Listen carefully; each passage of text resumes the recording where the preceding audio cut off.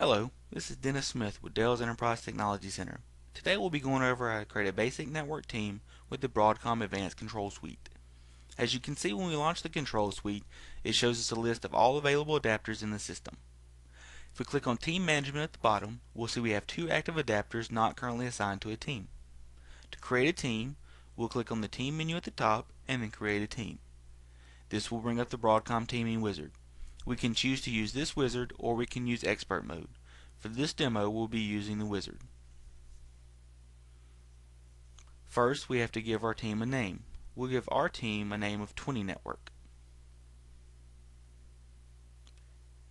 Now we have three choices to choose from on team type. We can choose Smart Load Balancing, in which a standby member handles the traffic if all other adapters of the team fail. Then we have link aggregation. In this type of team, you can dynamically configure the network adapters in a given team. All adapters in the team are configured to receive packets for the same MAC address.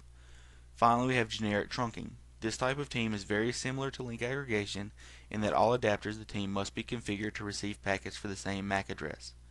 TOE or TCP offload engine is not supported in link aggregation or trunking teams. For this demo, we will choose Smart Load Balancing.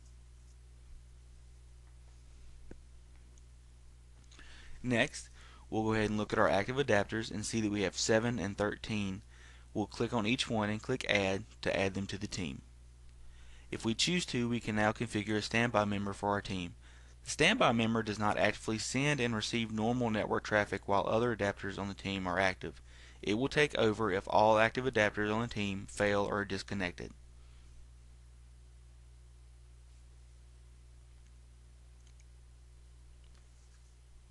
We also have the option to configure LiveLink for this team. The purpose of LiveLink is to detect the loss between the switch and to route traffic only through team members that have an active link. Next we have the option to add a VLAN. Since we do not have any VLANs configured for this demonstration, we will skip this part of the configuration.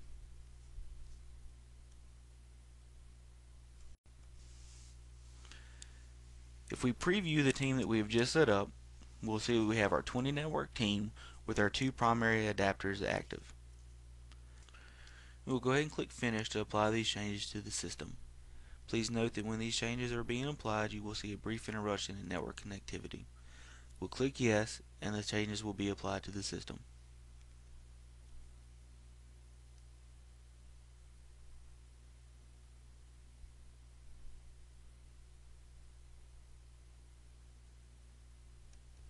After the team is created, you can go to Network Connections and see that the team shows up just like any other NIC in your system. That concludes this demo.